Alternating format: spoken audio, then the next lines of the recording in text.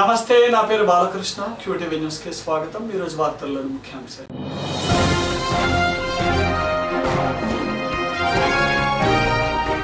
పాదయాత్ర పేరుతో అసెంబ్లీని బాయ్కాట్ చేయడం అవివేకం. వైసీపీ తీరుపై మండిపడ్డ మంత్రి ఆనందబాబు.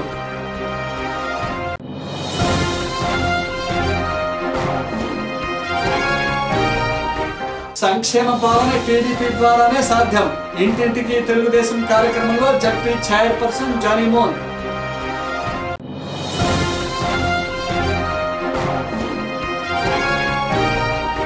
ప్రజా పంపిణీ వ్యవస్థను రద్దు చేస్తే ఊరుకోం.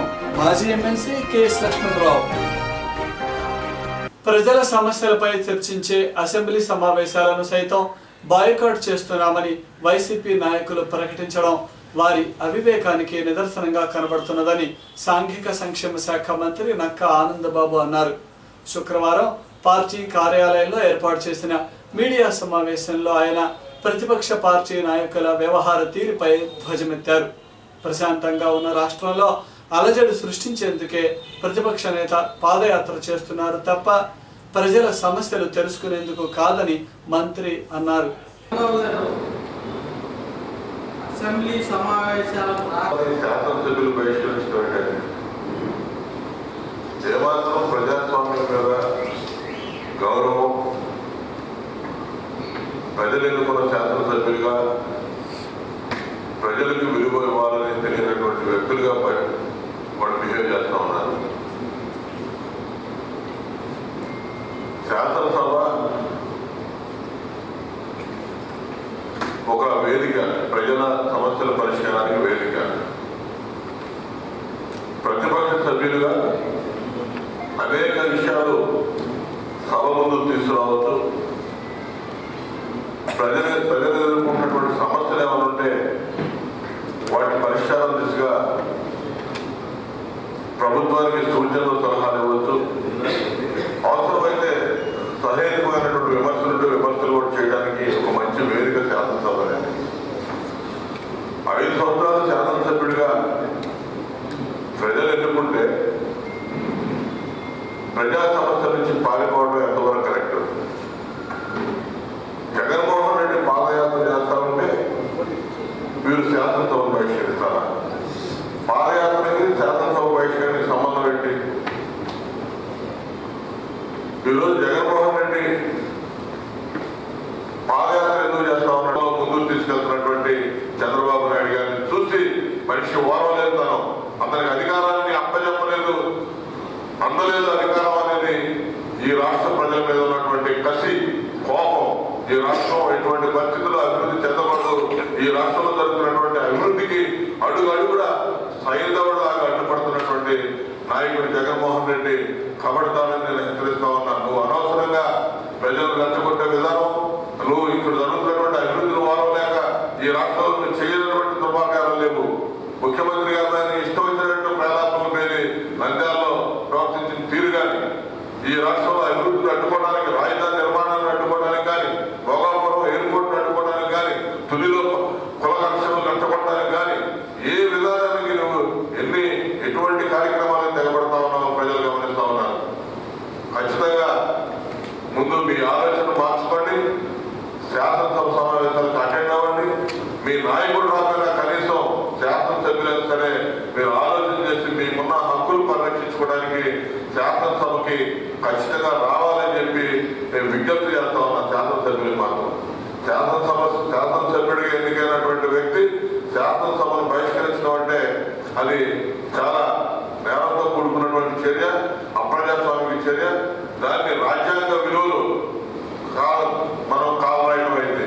రాజ్యాంగాన్ని అందించినటువంటి బాబాసాహెబ్ అంబేద్కర్ గారు అంబేద్కర్ గారి మీద రెండు రోజులు శాసనసభలో సుదీర్ఘమైనటువంటి చర్చ వారికి నివాళులర్పించే విధానంలో వారిని శ్లాఘించే విధానంలో ఆంధ్రప్రదేశ్ శాసనసభలో రెండు రోజులు చర్చ జరిగితే ఆ రెండు రోజులు కూడా బహిష్కరింపు చేశాడు జగన్మోహన్ రెడ్డి డివిజన్లలో నెలకొన్న సమస్యలను తెలుసుకుని తక్షణమే వాటిని పరిష్కరించేందుకు రూపొందించిన కార్యక్రమమే ఇంటింటికి తెలుగుదేశం కార్యక్రమం అని జిల్లా పరిషత్ చైర్పర్సన్ జానీ మోన్ తెలిపారు.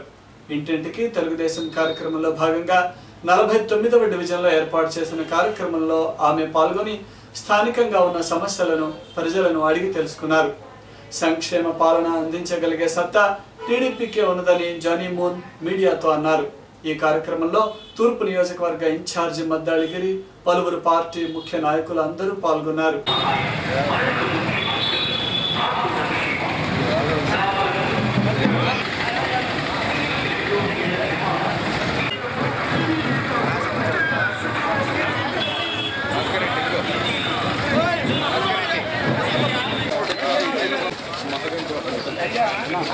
వారి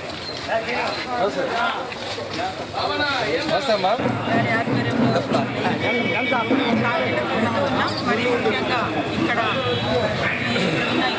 అందరూ కూడా చాలా సంతోషాన్ని వ్యక్తం చేస్తూ ఉన్నారు ప్రభుత్వం ద్వారా అందే పథకాలన్నీ వాళ్ళందరికీ దాదాపు అందరికీ కూడా అందుతున్నాయని చెప్పి చాలా సంతోషాన్ని వ్యక్తం చేయడం మేము అందరం గమనించాము. అదే కాకుండా ముఖ్యంగా వచ్చేసి ఇక్కడ సమస్య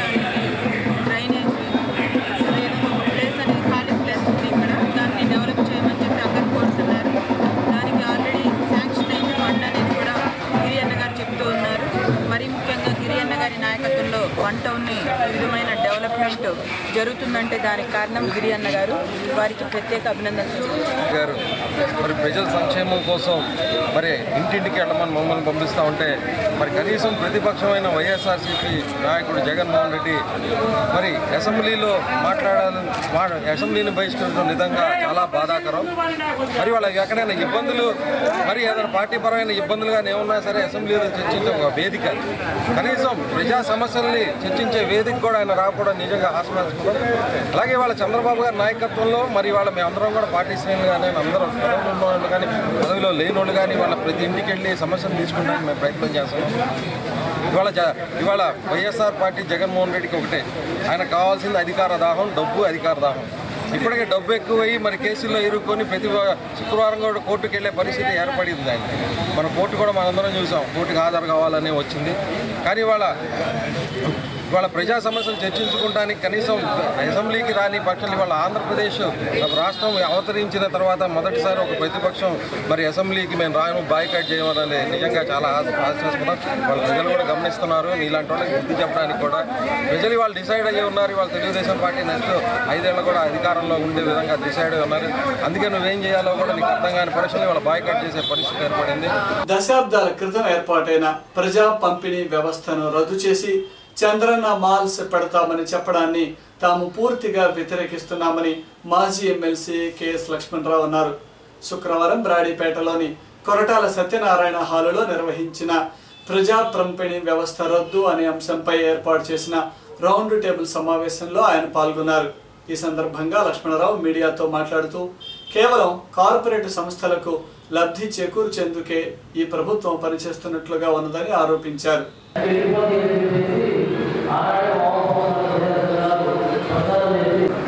ఇప్పుడు పరిస్థితి ఏంటంటే బీజేపీ పూర్తి మెజార్టీ వచ్చింది కాబట్టి ఈ ప్రజాప్రాంత అనేది ఎక్కువగా ఉన్న దేశంగా భారతదేశం రెండో చీర కాబట్టి చీర ముందు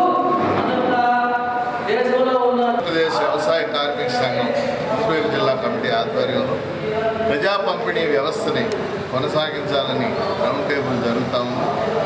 ఒక యాభై ఏళ్ళ క్రితం పేదలు చాలా ఎక్కువగా ఉన్న కాలంలో భారతదేశం ప్రజా పంపిణీ వ్యవస్థ ప్రవేశపెట్టి చౌకధరం దుకాణాలని మనం ఏర్పాటు చేసుకున్నాం.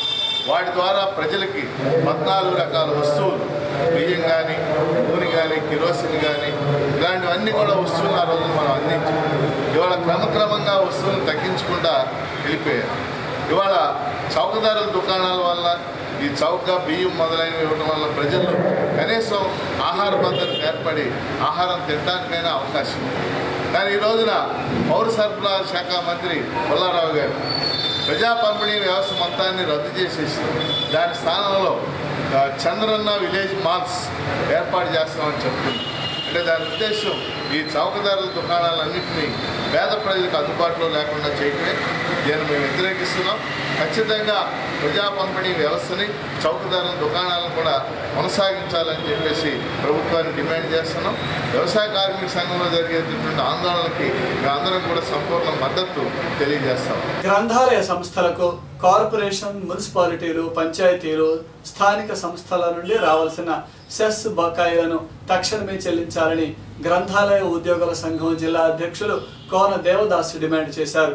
శుక్రవారం అరండలపేటలోని గ్రంథాలయ కార్యాలయం నుండి కలెక్టరేట్ వరకు భారీ ర్యాలీ నిర్వహించి కలెక్టర్కు వినతి పత్రం సమర్పించారు.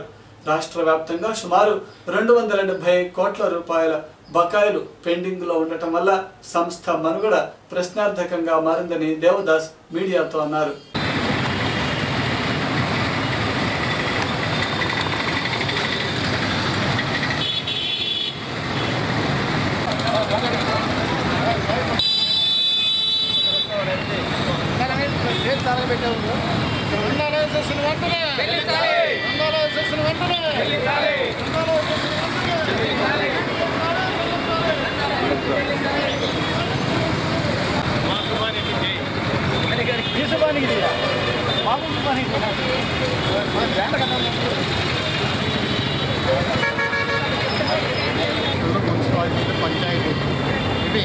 ప్రజల నుంచి రూపాయికి ఎనిమిది పైసలు చందాలైసెస్ చెల్లించాల్సిన అవసరం ఉంది.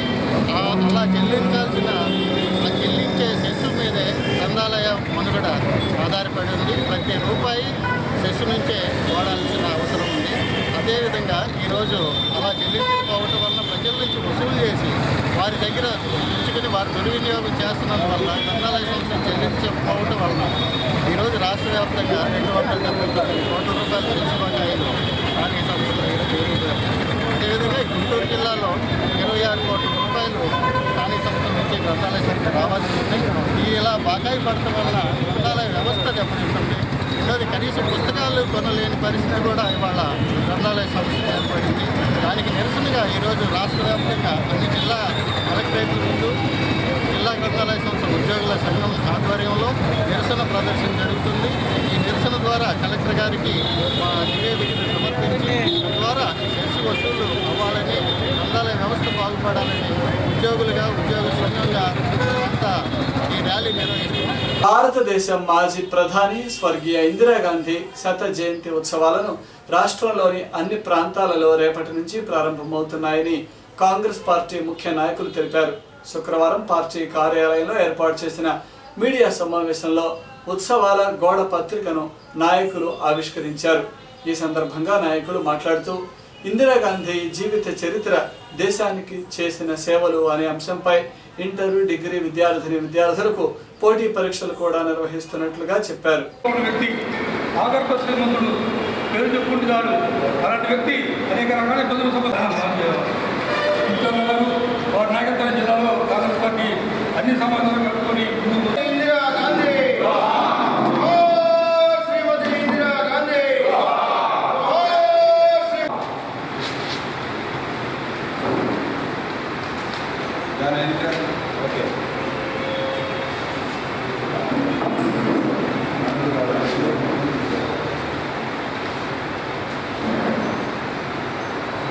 ఇందిరాగాంధీ గారి పేరు మీద శత జయంతులు జరుపుకునేటటువంటి కార్యక్రమంలో భాగంగా పోస్టర్ రిలీజ్ కార్యక్రమం చేపట్టడం జరిగింది.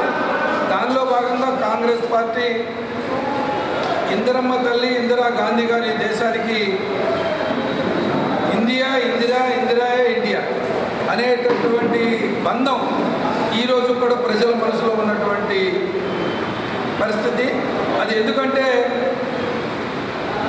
భారతదేశం బ్రిటిష్ యొక్క కబంధ హస్తాల నుంచి బయటకు వచ్చిన తర్వాత జవహర్లాల్ నెహ్రూ గారి పంచవర్ష ప్రణాళికలు కానివ్వండి శ్రీమతి ఇందిరాగాంధీ గారు ఈ దేశంలో ఉన్నటువంటి పేదరికాన్ని నిర్మూలించడానికి గరీబ్ హఠావ్ కానివ్వండి ఆ పేదరిక నిర్మూలనలో భాగంగా బ్యాంకుల జాతీయకరణ కానివ్వండి పేదరికానికి సమానమైనటువంటి ధనిక వర్గాలతో పాటుగా సమానమైన హక్కును కల్పించడంలో కానివ్వండి శ్రీమతి ఇందిరాగాంధీ గారి ఆలోచన విధానం. దేశ మాజీ ప్రధాని భారతరత్న స్వర్గీయ ఇందిరాగాంధీ గారి శత జయంతి ఉత్సవాలు పంతొమ్మిది పదకొండు రెండు వేల పదహారు నుంచి పంతొమ్మిది పదకొండు రెండు వేల పదిహేడు వరకు భారతదేశ వ్యాప్తంగా ఆంధ్రప్రదేశ్ వ్యాప్తంగా జరుగుతూ ఉన్నవి. ప్రదేశ్ కాంగ్రెస్ కమిటీ ఆధ్వర్యంలో పంతొమ్మిది పదకొండు రెండు వేల పదహారున కర్నూలు జిల్లా కోడుమూరులో బహిరంగ సభ ఏర్పాటు చేసుకుని పంతొమ్మిది పదకొండు రెండు వేల పదిహేడున మదనపల్లిలో ముగింపు సభ జరుగుతుంది. ఈ యొక్క ఇందిరాగాంధీ శత జయంతి ఉత్సవాలకి గుంటూరు జిల్లాకు సంబంధించి ప్రదేశ్ కాంగ్రెస్ కమిటీ తరఫున గుంటూరు జిల్లా ఇన్ఛార్జ్గా ఇచ్చేసినటువంటి రామకృష్ణ గారి చేతుల మీదుగా జరుగుతూ ఉన్నది. రామకృష్ణ గారు శత జయంతి ఉత్సవాల గురించి వివరిస్తారు. షూటింగ్ న్యూస్లో ఇప్పటికి విరామం.